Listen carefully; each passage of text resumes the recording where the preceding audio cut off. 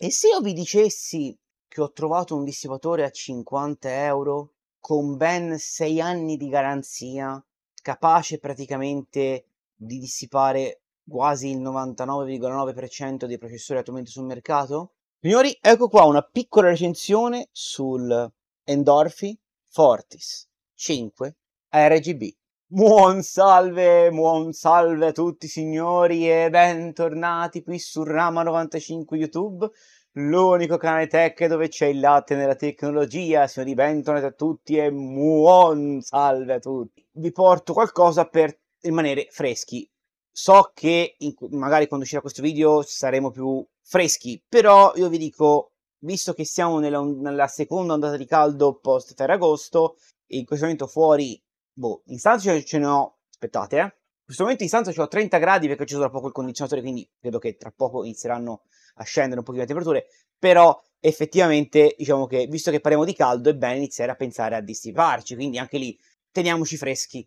Mi raccomando ragazzi, prima di proseguire nel video non dimenticate di iscrivervi al canale, attivare la campanella delle notifiche e, e sotto oltre, vabbè, oltre a lasciare tutti gli altri canali che vi lascio qui sotto in descrizione, come vi dico sempre, voglio lanciare un hashtag perché siete arrivati a, più o meno a questo punto del video vi lancio un hashtag che dovete mettere sotto nel video in ogni video a questo punto di, dove c'è qualsiasi punto di dissipazione qualsiasi video con dei dissipatori. Andate lì sotto e scrivete hashtag freddo. Così semplice all'acqua di rose. Niente di così cattivo semplicemente una roba che siamo toscani si fa per ridere poi vi ricordo che vi aspetto per i 2000 iscritti per fare il pc da 650 euro e inoltre io ve la butto così a 2000 iscritti mi faccio un mese con la 1070 Ti ragazzi 2000 iscritti un mese con la 1070 Ti quindi io vi aspetto lì dove, vi, vi, aspetto al varco. Allora ringrazio Endorfi nella, nella, per, nel particolare la persona di Umberto che si occupa della parte italiana per Endorfi di avermi mandato questo dissipatore in prova, ovvero il Fortis 5 ARGB, il loro dissipatore ad aria top di gamma. E effettivamente per il costo che ha, le garanzie che tiene e le prestazioni che tiene effettivamente sono state molto molto sorprendenti.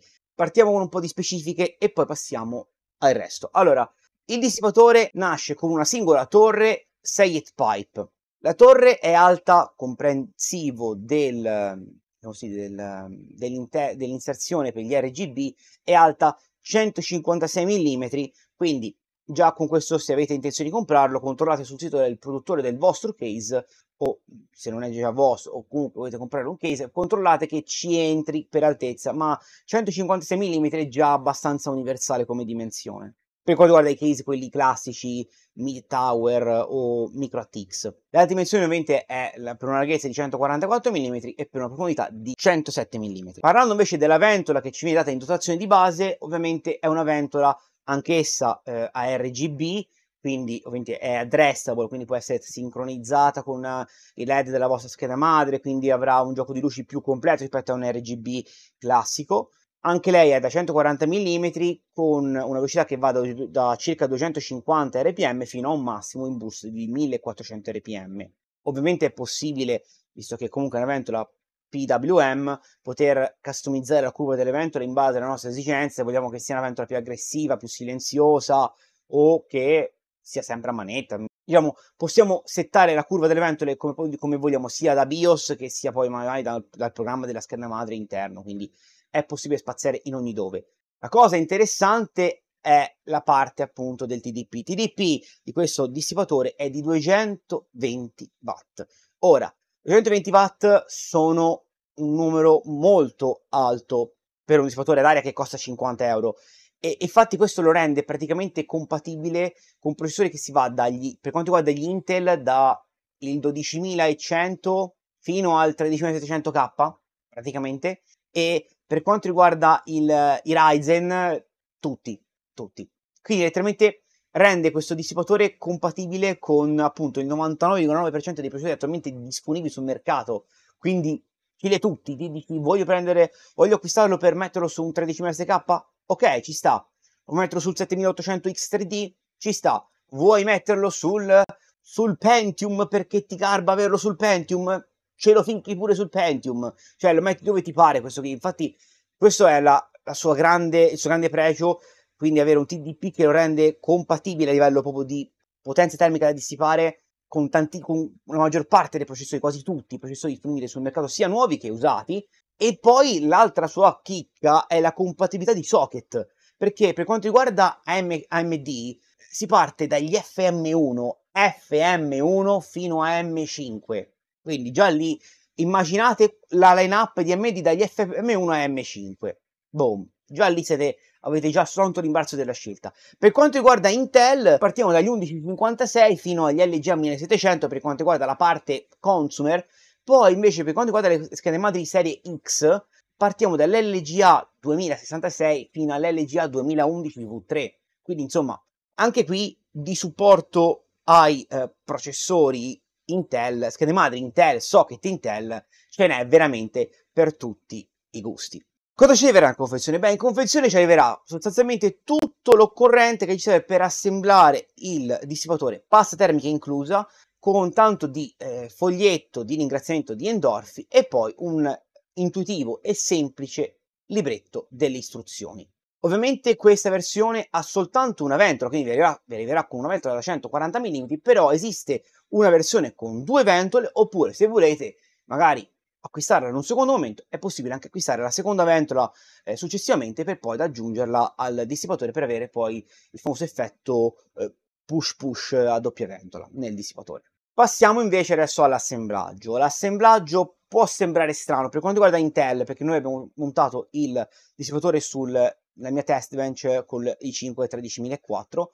Può sembrare una cosa un po' particolare perché effettivamente il backplate è un po' strano, ha più fori quindi si deve allineare al tipologia di socket, però in realtà è molto comodo perché te con un solo, un solo backplate praticamente abbracci tutti i socket LGA di Intel, quindi sei a bomba, sei letteralmente a bomba.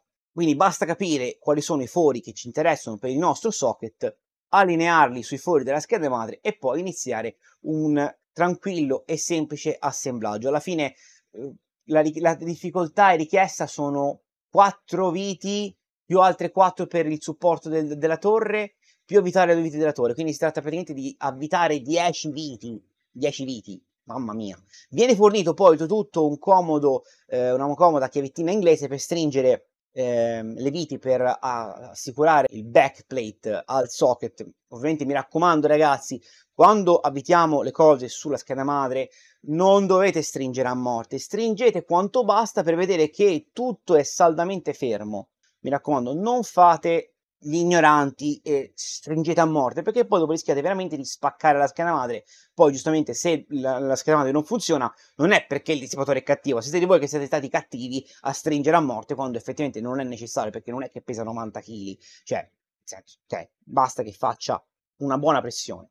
Le viti invece della torre sono comodissime perché alla fine basta avvitarle e poi sono autobloccanti perché nel momento in cui sono arrivate a fine corsa basta, non c'è niente, basta che voi avitate, continuate a avvitare fino a che non arrivate a fine corsa. Quindi anche lì proprio non vi potete proprio sbagliare. Quindi in quanto eh, compreso di pasta termica, magari appunto eh, boh, ammirare il, tu, il vostro lavoro fatto, se ci mettete un quarto d'ora siete già troppo lenti. Io ce ne ho messi 17. Ovviamente sia dalla torre che dalla ventola è possibile, poi escono appunto il doppio cavo, uno per la dalla ventola partono due cavi, uno appunto per attaccare al CPU fan per l'alimentazione della ventola, mentre invece esce un altro che è un attacco RGB che poi potete collegare in ponte con l'altro cavo RGB che esce dalla torre da poi poter collegare alla scheda madre in modo da poter sincronizzare tutta l'armonia di luci eh, con la torre e poi eventualmente anche sincronizzarlo con tutto il vostro ambiente di luci in modo da creare un effetto RGB eh, molto figo per, per i gamer che piace tanto. Passiamo invece alle prestazioni. Allora, ho testato questo dissipatore col 13004 in vari step di, eh, di lavoro. Partendo dal presupposto che ho deciso di giocare sporco col dissipatore perché gli ho detto no, io, io l'aria condensata non te l'accendo e ho fatto tutto con un ambiente, eh, una temperatura ambiente di circa 31 gradi, 31 gradi e 2, quindi una temperatura ambientale diciamo non proprio ottimale, cioè nel senso ci sto male io, vabbè, poi il dissipatore, il processore non è che ha problemi a morire, però nel senso, io ho sofferto, il processore no. perché comunque nonostante una run di 30 minuti sotto eh, Cinebench R25, devo dire, eh, ragazzi, le temperature parlano chiaro, ok? 30 minuti a 31 gradi, un processore del genere che, cioè ragazzi, si parla, questo è un processore che quando decide di chiamare 110 watt, 115, li chiama tranquillamente, senza problemi. Ok? E appunto io vengo forte dell'esperienza di un 5800X che ha messo in crisi un Noctua U12S, Noctua con 58X, ed era un processore che consumava praticamente gli stessi watt del 13004, eh?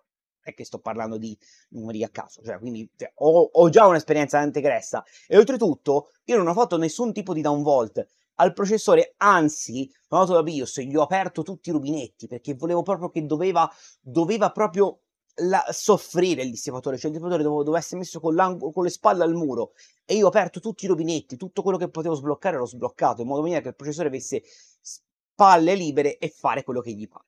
E infatti il processore ha fatto quello che gli è parso. Ho fatto test su ehm, Cinebench, Prime 95, e poi il famosissimo Intel Barn Test, che oltretutto mi sono pure anche scordato di, di l'ho lasciato lavorare per tutti e 10 cicli. Gli ho fatto fare 10 cicli di default alla massima potenza.